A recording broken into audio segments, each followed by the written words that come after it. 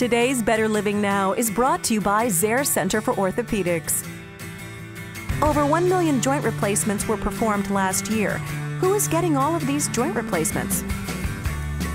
Surprisingly, a lot of younger people are getting hip and knee replacements. In the United States, currently half of the joint replacements are being put in people under the age of 65. It's just not for grandma and grandpa anymore. We're seeing 40 and 50 year old people decide that they don't want to live with the agonizing pain of an arthritic knee or hip and they don't want to wait 10 or 15 years to get this done. They want to proceed, get their knees fixed, have no pain, get back to the activities of their normal life.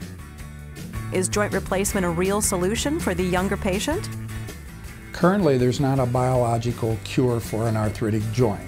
So the natural progression of deteriorating joints is to achieve a bone-on-bone -bone status. We've learned quite a bit on how to preserve these joints and make them last a long time.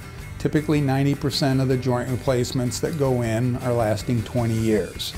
Younger people tend to be more abusive on their joints, will start running and playing hard sports, and those may wear out a little more quickly. But our alternative is for them to continue in an agonizing state with medications that aren't helping them. So yes, in fact, joint replacement is a very good alternative to what the natural history would provide for them.